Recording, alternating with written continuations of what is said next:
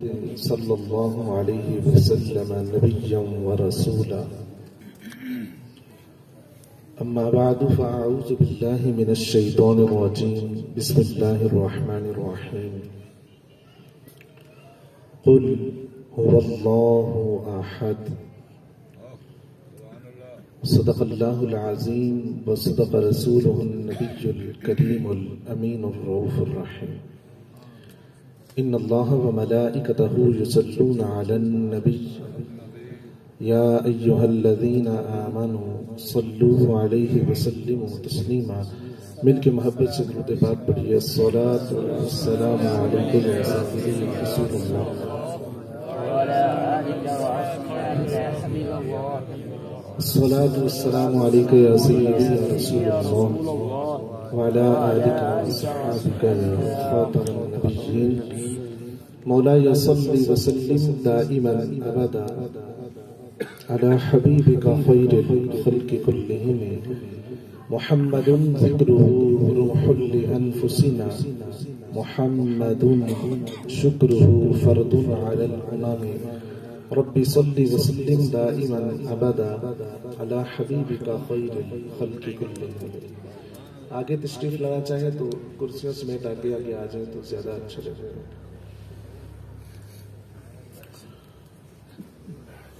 کرسیوں سمیت بھی تشریف لائیں. اللہ تبارک و تعالی جل مجدہ الکریم کی حمد و ستائش اور سید عالم نور مجسم شفیع معظم صلی اللہ تعالی علیہ وآلہ وصحابہ وبارک وسلم کے دربار اقدس انور میں ہدیت درود اسلام عرض کرنے کے بعد انتہائی مبارکباد کے مستحق ہیں محترم خادم حسین صاحب، جن کو اللہ تعالیٰ نے یہ توفیق عطا فرمائی کہ انہوں نے اپنے گھر میں اس خوبصورت محفل میلاد مصطفیٰ صلی اللہ علیہ وسلم کا انعقاد کیا۔ میری دعا ہے خالق کائنات جل جلالہ، ان کے اس انتظام کو اور ہم سب شرکا کی شرکت کو اپنی بارگاہ میں قبول فرمائے۔ بڑی ہی اہم گفتگو آپ کے سامنے کرنا چاہتا ہوں۔ اور یہ بڑی خواہش بھی تھی خادم صاحب کی کہ اس موضوع پہ میں گفتگو کروں۔ توجہ سے سماعت فرمائیں گے تو بہت کچھ انشاءاللہ۔ عقائد کے لحاظ سے سیکھنے کو میسر آئے گا۔ میری دعا ہے اللہ تعالیٰ میری اور آپ سب کی اس حاضری کو اپنی بارگاہ میں شرف قبولیت عطا فرمائے۔ آج کہ ہمارے ماحول کے لحاظ سے اگر دیکھا جائے تو بات بات پہ شرک کے فتوے لگائے جاتے ہیں اور شرک کے تالے دیے جاتے ہیں۔ آج اگر میلاد شریف کرایا جائے تو اس پہ شرک کا فتویٰ، گیارہویں شریف ہو تو شرک کا فتویٰ۔ غوث اعظم کہا جائے تو شرک کا فتویٰ، یا رسول اللہ کہا جائے تو شرک کا فتویٰ۔ یہ شرک ہے کیا اور اس کی حقیقت کیا ہے؟ آج اس گفتگو کے اندر ہم اس کو حصہ بنائیں گے کہ توحید کیا ہے اور شرک کیا ہے۔ اور اس کے بعد کچھ شان رسالت کے متعلق گفتگو سنیں گے۔ اللہ تعالیٰ جو کچھ ہم سب سنیں سنائیں، اس پر عمل کرنے کی بھی توفیق عطا فرمائے۔ قرآن مجید برحان رشید میں رب جلال نے جب اپنی توحید کا بھی اعلان کروایا تو وہ بھی اپنے محبوب الاسلام کی زبان سے اعلان کروایا۔ حالانکہ خالصتاً توحید ہوا سے شروع ہوتی ہے۔ ہوا اللہ احد۔ وہ اللہ ایک ہے۔ لیکن فرمایا، محبوب تم کہو وہ اللہ ایک ہے۔ یعنی ساری کائنات مل کے کہے وہ اللہ ایک ہے تو اللہ کو اتنا پسند نہیں ہے۔ جتنا وہ اپنے محبوب کی زبان سے سن کے اس کو پسند ہے، کل محبوب تم کہو وہ اللہ ایک ہے۔ یعنی جو تمہیں مان جائے گا وہ پھر مجھے بھی مان جائے گا۔ اور جو تمہیں نہیں مانے گا، جو کل کو چھوڑ دے گا، وہ آگے توحید کو بھی نہیں اپنا سکتا۔ اس آیت مبارکہ کا شان نزول یہ ہے کہ جس وقت رسول اکرم صلی اللہ تعالی علیہ وسلم نے اللہ تعالیٰ کی وحدانیت کا اعلان کیا، تو وہ ماحول ایسا تھا کہ ہر طرف شرک کا ماحول تھا اور ہر گلی کے اندر ایک معبود گھڑ کے رکھا ہوا ہے، ہر محلے کے اندر، ہر گھر کے اندر معبود ہے۔ تو جب رسول اکرم صلی اللہ علیہ وسلم نے فرمایا، لوگوں، خدا ایک ہے اسی کی عبادت کیا کرو یہ باقی سارے معبودوں کو چھوڑ دو۔ تو امر بن توفیل مشرقین کی طرف سے رسول پاک صلی اللہ علیہ وسلم کی بارگاہ میں حاضر ہوتا ہے اور کہتے ہیں کہ آپ جس خدا کی ہمیں دعوت دے رہی ہیں، وہ خدا سونے کا بنا ہوا ہے یا چاندی کا بنا ہوا ہے؟ وہ لوہے کا بنا ہے یا لکڑی کا بنا ہے؟ مٹی کا بنا ہے یا پتھر کا بنا ہے؟ تو آپ اس سے اندازہ لگا سکتے کہ ان کی خدا کے بارے میں سوچ کتنی مقید تھی اور ان کا تصور کس طرح ایک جگڑا ہوا تصور تھا کہ خدا صرف سونے کا ہو سکتا ہے یا چاندی کا، پتھر کا یا لوہے کا، مٹی کا۔ خود ہی اپنے ہاتھوں سے گھڑ کے معبود بنائے۔ تو رسول اکرم صلی اللہ علیہ وسلم نے رشاد فرمایا اللہ احد. وہ خدا نہ سونے کا بنا نہ چاندی کا بنا نہ لوہے کا بنا نہ لکڑی کا بنا نہ مٹی کا بنا نہ پتھر کا بنا ہے۔ نہ وہ بنانے کا محتاج ہے، نہ بنوانے کا محتاج ہے۔ اللہ احد۔ وہ اللہ ہے، وہ ایک ہی ذات ہے۔ نہ وہ کسی کا بیٹا ہے، نہ اس کا کوئی بیٹا ہے۔ تو یہ رسول اکرم صلی اللہ علیہ وسلم نے جو اس وقت ان کا جواب دیا، رب الجلال نے آیت مبارکہ کا نزول فرما کے ان مشرقین کا رد کر دیا۔ حضرت امام اعظم ابو حنیفہ رحمۃ اللہ تعالی علیہ سے کسی نے پوچھا کہ تم کہتے ہو کہ خدا موجود ہے تو اس پر دلیل کیا ہے؟ اب سنیے گا، حضرت امام اعظم ابو حنیفہ رحمۃ اللہ تعالی علیہ آپ فرمانے لگے کہ مجھے ذرا یہ بتاؤ کہ ایک درخت اس کے خود بخود تختے بن جائے اور تختے خود بخود پھر جڑ جائے اور پھر خود بخود جڑ کے ایک کشتی تیار ہو جائے اور وہ کشتی بغیر کسی چلانے والے کے بغیر آپ فرمانے لگے کہ یہ شہدود کا پتا اس کا رنگ بھی ایک جیسا اس کی طبیعت بھی ایک جیسی استعمال کرتی ہے تو اس سے شہد نکلتا ہے۔ اسی کو اگر ہرلی کھاتی ہے تو اس کی اس کے نافے کے اندر کستوری پیدا ہوتی ہے۔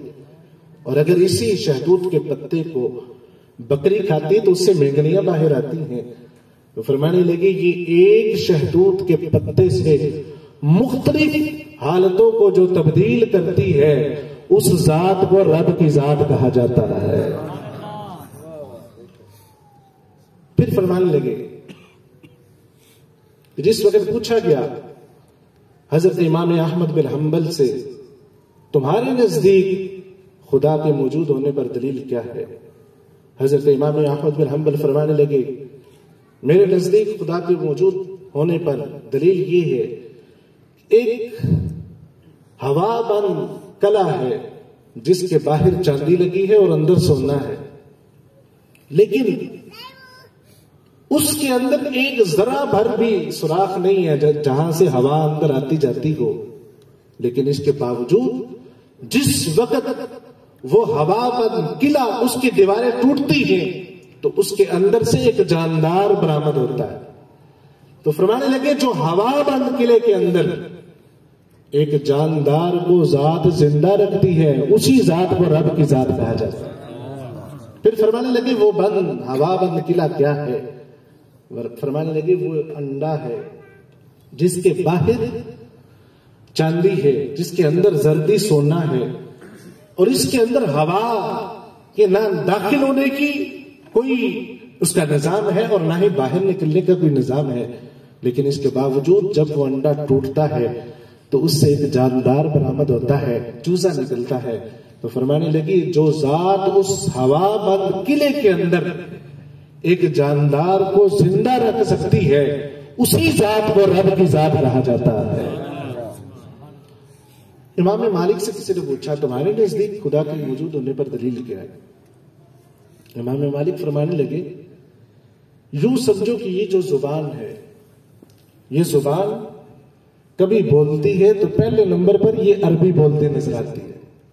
کسی علاقے میں یہی زبان، یہی گوشت کا ایک ٹکڑا۔ یہ کسی علاقے میں بولتا ہے تو پنجابی بولتا ہے. کسی علاقے میں بولتا ہے تو ہندی بولتا ہے. کہیں بولتا ہے تو سندھی بولتا ہے. کہیں بولتا ہے تو بلوچی بولتا ہے. کبھی عربی، کبھی یہ فارسی، کبھی انگلش بولتا ہے. فرمایا گوشت کا ٹکڑا ایک ہی جیسا ہے اور اس کی حالت بھی ایک ہی جیسی ہے. لیکن ایک ہی قسم کے گوشت کے ٹکڑے سے جو مختلف بولیاں ذات بلواتی ہے اس ذات کو رب کی ذات کہا جاتا ہے۔ پھر فرمانے لگے، اسی کو دیکھو۔ کہ یہ زبان کبھی بولتی ہے تو یہ نغمہ جبریل بن جاتی ہے۔ کبھی بولتی ہے تو بلبل کو بھی رشک آتا ہے۔ اتنی میٹھی زبان، اتنی مٹھاس بھری الفاظ اس سے نکلتی ہیں۔ لیکن کبھی یہی زبان بولتی ہے تو اتنی کرخ اور اتنا سخت لہجہ ہوتا ہے کہ سننے والے وہ آوازار ہو جاتے ہیں۔ اور ان کے کان اس کو پسند نہیں کرتے، تو فرمانے لگے، زبان ایک ہی ہے۔ لیکن ایک ہی قسم کے گوشت کے ٹکڑے والی زبان سے جو مختلف قسم کی تاثیریں پیدا کرتی ہے، اس ذات کو رب ذوالجلال کہا جاتا ہے۔ یہ ہے ہمارے رب کی ذات۔ جو ایک ہی قسم کے گوشت کے ٹکڑے سے مختلف لغات بھی نکالتی ہے اور مختلف اس میں تاثیریں بھی پیدا کرتی ہے، اس ذات کو رب جلال جل جلالہ کہا جاتا ہے۔ شرک کی تعریف کیا ہے؟ شرح عقائد کے سفر نمبر سولہ پر یہ شرک کی تعریف موجود ہے۔ آپ فرمانے لگے کہ الاشراق ہوا اثبات الشریک فی الالوحیت کہ شرک یہ ہے کہ کسی کو الوحیت کے اندر شریک کر لینا۔ کس لحاظ سے؟ بیمانہ وجوب الوجود کسی کو واجب الوجود سمجھنے کے لحاظ سے۔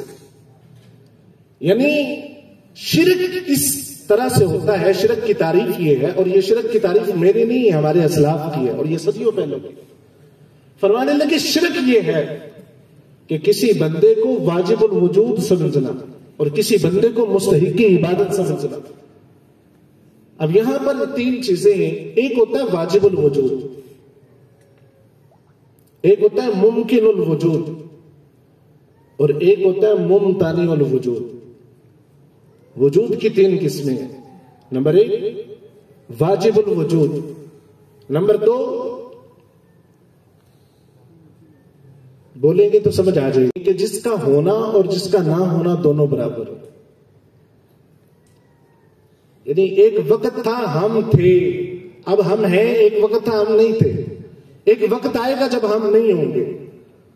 تو ہمارا ہونا نہ ہونا دونوں برابر ہے اب ہم ہیں، ایک وقت آئے گا، نہیں ہوں گے۔ ہر چیز ایک وقت تھی جب نہیں تھی۔ لیکن اب ہے، ایک وقت آئے گا، یہ چیزیں نہیں ہوں گی۔ تو کائنات کی ہر چیز رب کی ذات کے سوا وہ ممکن الوجود ہے۔ اس کا ہونا نہ ہونا دونوں دونوں طرف اس کے برابر ہے۔ ایک ہوتا ہے واجب الوجود، کہ جس کا ہونا ہر حال میں ضروری ہو۔ جب کچھ بھی نہیں تھا، وہ تب بھی تھا۔ اب بھی ہے۔ جب کچھ بھی نہیں ہوگا، وہ تب بھی ہوگا۔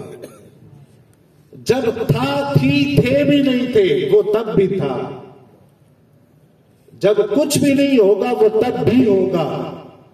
جو ذات ہمیشہ سے ہو، ہمیشہ رہے گی، اس ذات کو واجب الوجود کہا جاتا ہے۔ اور وہ صرف اور صرف رب کی ذات ہے۔ اللہ کی ذات کے سوا کوئی کتنی بڑی سے بڑی ہستی کیوں نہ ہو، کوئی بڑی سے بڑی ذات کیوں نہ ہو، کوئی اعلی سے اعلی ذات کیوں نہ ہو وہ واجب الوجود نہیں ہو سکتی۔ واجب الوجود صرف اور صرف رب کی ذات ہے۔ نمبر تین ممتارغ الوجود۔ مم تانی الوجود۔ کہ جس کا نہ ہونا ہر حال میں ضروری ہو۔ یہ واجب الوجود کے مقابل ہے۔ جس کا ہونا ہر حال میں ضروری تھا، اس کو واجب الوجود کہتے ہیں۔ جس کا نہ ہونا ہر حال میں ضروری ہو اس کو ممتاری الوجود کہتے ہیں۔ جیسے اللہ تعالیٰ کا شریک۔ اللہ تعالیٰ کا شریک نہ پہلے تھا، نہ اب ہے اور نہ ہی کوئی بعد نہیں ہوگا، کل قیامت تک کوئی بھی نہیں ہو سکتا۔ تو شرک تب ہوتا ہے جب اللہ کے علاوہ کسی اور کو واجب الوجود سمجھا جائے۔ اب آپ جتنے یہاں بیٹھے ہیں، مجھے آپ بتائیے آپ میں سے کوئی بھی ہے جو اکال اسلام کو واجب الوجود سمجھتا ہو؟ آپ میں سے کوئی ہے جو یہ سمجھتا ہو کہ ہمیشہ سے سرکار کی ذات ہے اور ہمیشہ رہے گی؟ ایسا کوئی ہے جس کا یہ عقیدہ ہو؟ تو جب ہم میں سے کسی کا یہ عقیدہ نہیں ہے اور جب ہم سرکار کا میلاد بناتے ہیں تو میلاد کس کا کہتے ہیں؟ میلاد کا مطلب کیا ہوتا ہے؟ کہ ولادت کا تذکرہ کرنا، اور ولادت کس کی ہوتی ہے؟ جو پہلے نہیں تھا، اس کے بعد میں ولادت ہوئی تو میلاد منانا یہ گویا کہ شرک کو ختم کرنے کی ایک دلیل ہے۔ شرک کو جڑ سے کاٹنا، یہ میلاد شریف کی شریع حیثیت ہے۔ کہ رب کی ذات تو میلاد سے پاک ہے، لیکن سرکار کی ذات کا میلاد کر کے ہم یہ ثابت کرتے کہ سرکار کی ذات واجب الوجود نہیں ہے، واجب الوجود صرف رب کی ذات ہے۔ بات سمجھ آئی کیا تو نمبر ایک، اللہ کی ذات کے علاوہ کسی اور کو واجب الوجود سمجھا جائے تو پھر وہ شرک کرنے والا ہے اور وہ بندہ مشرک ہے۔ دوسرے نمبر پر، مستحق کی عبادت ہونا مستحق کی عبادت بھی صرف رب کی ذات ہے۔ اللہ کی ذات کے علاوہ کوئی بھی کوئی نبی ہو، کوئی ولی ہو، غوث ہو کتب ہو، ابدال ہو، کتنے بڑے مرتبہ پر کوئی نہ کوئی نہ کیوں نہیں فائز ہو؟ لیکن جو بھی ہو، اللہ کی ذات کے علاوہ کوئی بندہ بھی مستحق کی عبادت نہیں۔ تو اگر یہ دونوں چیزیں پائی جائیں، رب کی ذات کے سوا نہ کسی کو واجب الوجود سمجھ سکتے اور نہ ہی کسی کو مستحق کی عبادت سمجھ سکتے۔ اچھا ہاں، آپ میں سے کوئی بھی ایسا نہیں ہے جو رب کی ذات کے سوا کسی کو بھی نہیں، حتیٰ کہ اکال اسلام اسلام کو بھی۔ ہم میں سے کوئی بھی واجب الوجود نہیں سمجھتا۔ ہم میں سے کوئی ہے جو اکال اسلام کو مستحقی عبادت سمجھتا۔ کسی سادے سے سادے بندے کو بھی پکڑ کے اس سے پوچھا جائے، تم جو داتا صاحب جاتے ہو تو داتا صاحب کی عبادت کرنے جاتے ہو؟ تم جو غوث اعظم کی گیارہویں شریف کا ختم دلاتے ہو تو کیا ان کی عبادت سمجھ کے وہ ختم شریف دلا رہے ہوتے ہو؟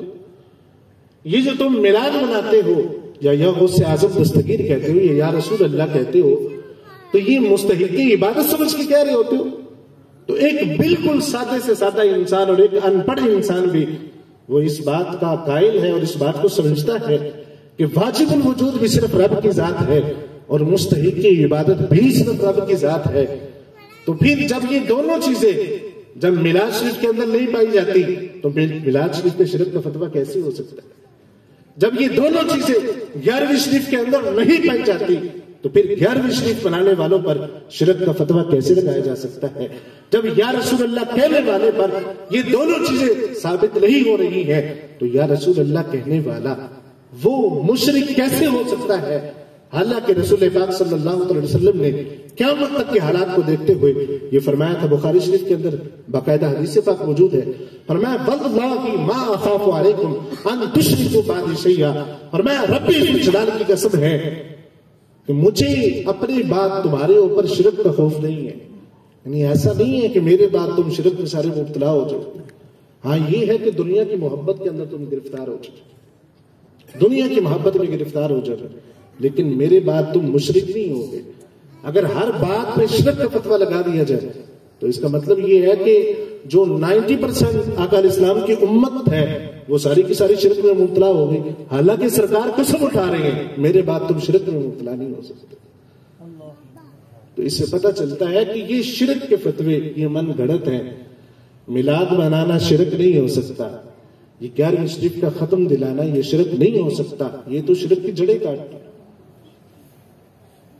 اسی طرح رسول اکرم صلی اللہ تعالی وسلم اللہ کے بندے ہیں، اللہ کے رسول ہیں۔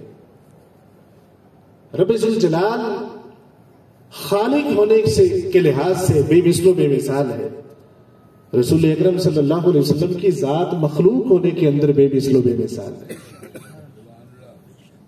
وہ رب خالق ہونے کے لحاظ سے ہر عیب سے پاک ہے۔ لیکن ہمارے آقا صلی اللہ علیہ وسلم مخلوق کے اندر سب سے بڑھ کر عیب سے پاک ہے۔ لیکن عام بندوں جیسے نہیں ہے عبد خاص ہے یہ وہ ہے جن کو رب اپنا بندہ کہہ کے پکارتا ہے۔ سرکار بشر ہیں، لیکن بشر عام بشر نہیں ہے بشر بھی ایسے ہیں کہ بے مثل و بے مثال ہیں۔ اللہ نے ان جیسا کوئی بشر بھی پیدا نہیں فرمایا۔ لیکن بشر ہے، سرکار کی بشریت کا جو انکار کرتا ہے، وہ بندہ دائر اسلام سے خارج ہے۔ قرآن مجید کی آیتیں مبارک قل انما انا بشر مثلکم، میں تمہارے جیسا بشر تو بشریت کا جو بندہ انکار کرتا ہے، وہ بندہ دائر اسلام سے خارج ہے۔ لیکن اس کے ساتھ ساتھ رسول اکرم صلی اللہ علیہ وسلم کی جو وصفیت ہے، نورانیت ہونا اس کا انکار کرنا یہ بھی گمراہی ہے۔ یہ بھی قرآن مجید نے بیان کیا قرآن مجید کی کسی ایک آیت میں رب الجلال نے یہ نہیں فرمایا، وما ارسلنا کا نورا۔ اے محبوب، ہم نے آپ کو نور بنا کے نہیں بھیجا۔ احادیث مبارکہ کی جتنی کتابیں ہیں، ساری اٹھا کے دیکھ لو۔ کسی ایک حدیث پاک میں بھی سرکار نے یہ نہیں فرمایا، لست میں نور۔ میرے صحابہ، میں نور نہیں ہوں۔ صحابہ کرام علی مردوان کے اقوال میں سے کسی صحابی کا ضعیف سے ضعیف قول بھی یہ نہیں ملتا، جس میں صحابی کہتے ہوں، ہمارے محبوب اسلام نور نہیں ہے، جبکہ رسول اللہ صلی اللہ علیہ وسلم نے یہ خود فرمایا کہ اے جابر، سب سے پہلے اللہ نے جس چیز کو پیدا کیا تھا، وہ تیرے نبی کے نور کو پیدا کیا۔ تھا تو بشریت ہونا اور نورانیت ہونا، یہ دونوں آپس میں ایک دوسرے کے منافی نہیں ہے ایسا نہیں ہو سکتا کہ جو بشر ہے وہ نور نہیں ہو سکتا۔ حالانکہ قرآن مجید کے اندر بالکل واضح طور پر حضرت جبریل علیہ السلام اسلام کے لیے رب الجلال نے بشر کا لفظ استعمال فرمایا۔ حالانکہ جبریل علیہ السلام کون ہے کون ہے اور فرشتے کون ہیں؟ نوری ہے نا۔ فرشتوں کے نوری ہونے میں کسی کو شک ہے؟ لیکن نہیں۔ رب الجلال فرماتا ہے فتح مسن رہا بشر جب ہم نے حضرت جبریل کو مریم علیہ السلام کے پاس بھیجا، تو کس صورت میں بھیجا؟ بشرن سویا ایک تندرست مرد کی صورت میں بھیجا۔ بشر کے لفظ بشرن سویا لیکن اس کے باوجود کوئی بندہ بھی حضرت جبریل اسلام کی نورانیت کا انکار کرنے والا نہیں ہے۔ تو بشریت کے لباس میں ہمارے آقا صلی اللہ علیہ وسلم کو رب الجلال نے بھیجا۔ کس لیے بھیجا؟ اگر سرکار بشریت کی صورت میں نہ آئے تھے تو پھر نہ کوئی صدیق اکبر بنتا، نہ فاروق اعظم۔ بنتا سرکار کو دیکھنے کی کسی کے اندر ہمت نہ ہوتی۔ جن لوگوں نے سرکار کے حلیہ مبارک کو بیان کیا، دیکھنے والے، سرکار کا کلمہ پڑھنے والے اور سرکار کے صحابہ کی اگر تعداد کو دیکھا جائے تو وہ بھی ایک لاکھ سے کہیں زیادہ ہے۔ لیکن رسول پاک صلی اللہ علیہ وسلم کی سیرت کا اور آپ کی جو حلیہ مبارک بیان کرنے والے ہیں، وہ صرف صحابہ کرام علیہ مردوان تینتیس سے چونتیس صحابہ کرام۔ حالانکہ دیکھا اور کلمہ پڑھنے والے تو وہ ایک لاکھ سے زیادہ ہے تو علماء فرماتے ہیں کہ صحابہ کرام علیہ مردوان لاکھ سے بھی زیادہ لیکن حلیہ بیان کرنے والے، سرکار کی سیرت کو بیان کرنے والے، وہ صرف اور صرف ان کی تعداد تینتیس اور چونتیس ہے۔ اور وہ بھی کون سی ہے یا سرکار کے گھر والے ہیں، یا وہ ہیں جنہوں نے سرکار کو بچپن کے اندر دیکھا ہوا یعنی اکال اسلام اسلام جب بالکل جوبن پہ آپ کی جو نبوت اور رسالت تھی، اس وقت کسی کے اندر دیکھنے کی ہمت ہی نہیں تھی۔ صحابہ آپس میں ایک دوسرے سے پوچھا کرتے تھے، یار بتاؤ نا سرکار کا اولیاء کیسا تھا؟ وہ کہتے، تم نے نہیں دیکھا؟ انہوں نے کہا، دیکھتے کیسے؟ کبھی آنکھ بھر کے دیکھ ہی نہیں سکے کیونکہ آنکھ کے اندر ہمت ہی نہیں ہوتی تھی سرکار کو آنکھ بھر کے دیکھ سکتے۔ کیسے دیکھا کرتے تھے؟ باقاعدہ صحابہ ایک دوسرے کو بتاتے تھے کہ یوں انگلیوں کی اوٹ سے دیکھا کرتے تھے۔ کیوں ایسا دیکھتے تھے؟ آنکھ بھر کے دیکھتے تو ہمت ہی نہیں تھی کہ آنکھ سلامت رہ جاتی۔ کسی آنکھ کے اندر ہمت نہیں تھی سرکار کو، بے حجاب چلنے سے باہر دیکھ لیتی۔ تو یہ سرکار کی نورانیت کا عالم تھا۔ سرکار فرماتے ہیں، سب سے پہلے اللہ نے جس چیز کو پیدا کیا ہے، جابر تیرے نبی کے نور کو پیدا کیا۔ تو یہ ہمارے آقا صلی اللہ علیہ وسلم کی ذات ہے کہ جو بشر بھی ہیں، بشر بھی بے مثل و بے مثال ہے نور بھی بے مثل و بے مثال ہے تو یہ رسول پاک صلی اللہ علیہ وسلم کے عقائد کے لحاظ سے کہ ایک بندہ مومن کا اللہ تعالیٰ کی ذات کے بارے میں کیا عقیدہ ہونا چاہیے اور ایک بندہ مومن کا رسول پاک صلی اللہ علیہ وسلم کی ذات کے لحاظ سے کیا عقیدہ ہونا چاہیے؟ یہ جس طرح ہم پر نماز فرض ہے، اس طرح ان عقائد کو سیکھنا بھی ہر مسلمان پر فرض ہے۔ ہم یہ سمجھتے ہیں کہ یہ صرف علماء کے جھگڑے ہیں اور یہ مولویوں کے اختلافات ہیں۔ یہ مولویوں کے نہیں، یہ ہر بندے مومن کی علامت ہے کہ وہ مومن ہے تو کس لحاظ سے مومن ہے؟ ہمارا کلمہ تب تک مکمل نہیں ہوتا جب تک لا الہ الا اللہ محمد رسول اللہ دونوں چیزوں کو نہیں ہم پڑھتے۔ ایک بندہ صرف لا الہ الا اللہ تو پڑھتا رہا، لیکن اس نے محمد رسول اللہ نہیں پڑھا۔ تو کیا خیال ہے وہ بندہ جنت میں چلا جائے گا؟ نہیں جا سکتا۔ ہمارا کلمہ اس وقت تک مکمل نہیں ہوتا جب تک سرکار کی ذات پر ایمان نہ ہو۔ اور سرکار کی ذات پر صرف اتنا ہی ایمان نہیں ہے کہ وہ صرف اللہ کے رسول ہے سرکار کو اللہ نے کتنے اوصاف عطا فرمائے اور کتنی شانیں عطا فرمائی ہیں۔ ہر شان ایسی ہے کہ زندگیاں ختم ہو جائیں، قلم ٹوٹ جائے، لیکن ان کی سیرت کا ایک بات بھی مکمل نہیں ہو سکتا۔ رب الجلال جل جلالہ میری اور آپ سب کی اس حاضری کو اپنی بارگاہ میں شرف قبولیت عطا فرمائے